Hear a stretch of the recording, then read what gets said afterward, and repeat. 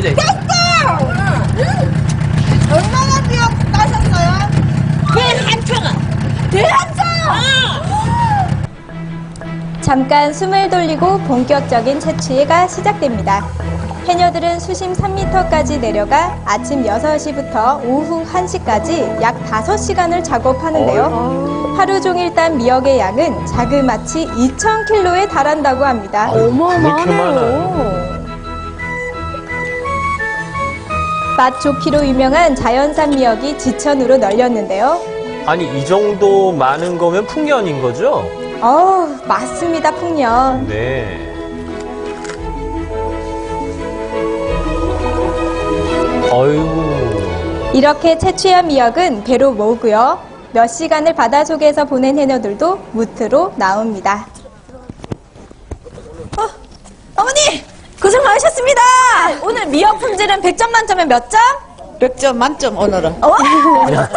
오늘은 만점 야. 날씨가 고요해갖고 파도도 고요하고 바람도 하풍도 좋고 해서 오늘은 만점 어유. 그 사이 김산옥 해녀의 단짝도 도착했습니다. 돌아왔네요. 빨리 온네.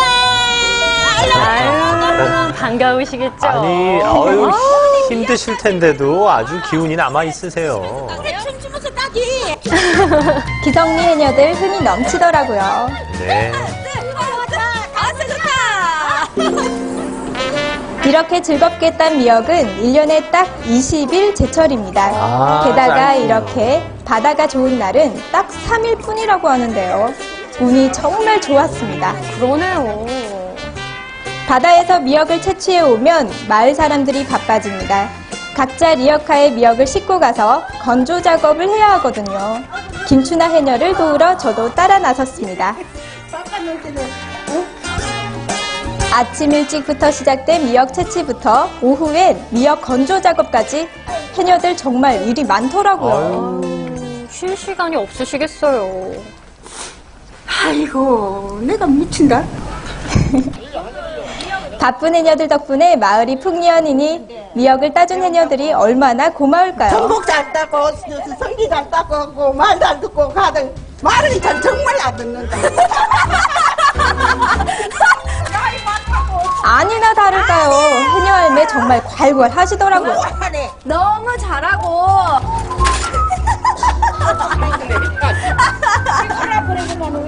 아유 이 사람들 전복 10kg 잡으면 이 해녀는 1kg도 못 잡는 해녀 왜 저 돌 해녀 따라다니면 그러니까 나는 하지 말고 저 가면 해녀 잘하는 해녀들이 있어 나는 돌 해녀네 이거 아이고 아이고 이거 어쩝니까?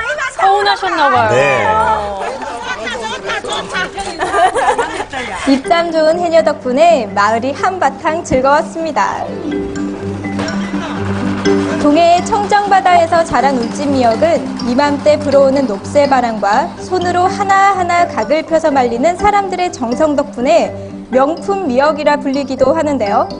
꼬들하게 말라가는 미역 너머로 길었던 해가 뉘엿뉘엿 집니다. 누구보다 긴 하루를 보낸 해녀들, 배가 출출해질 시간이죠. 오늘의 재료는 싱싱한 미역입니다. 이야 저 윤기 흐르는 거 보세요. 아유. 갔다 왔으니 얼마나 꼬들꼬들하고 싱싱할까요?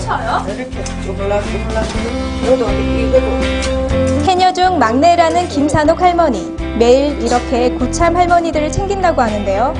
아유 일 자체도 힘드셨을 텐데 참 대단하시네요. 다양한 생선과 생미역으로 끓인 마을 별미, 생미역 된장찌개입니다. 하나부터 열까지 싱싱한 재료들 뿐이라 그 맛도 그 향도 기가 막혔습니다. 약간 칼칼하겠는데요. 어, 오 이거 봐요 이거 봐. 아유. 고단한 하루를 보내는 해녀들. 자식들은 이제 바다에 그만 가라지만 해녀들의 물질을 그만둘 수가 없습니다. 아들 걱정하지 마. 나 괜찮아.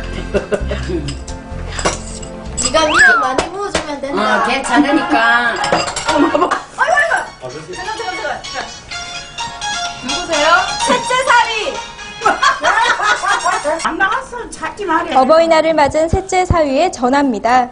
아니나 다를까 사위도 어머니의 바닷일이 걱정되어 전화했더라고요.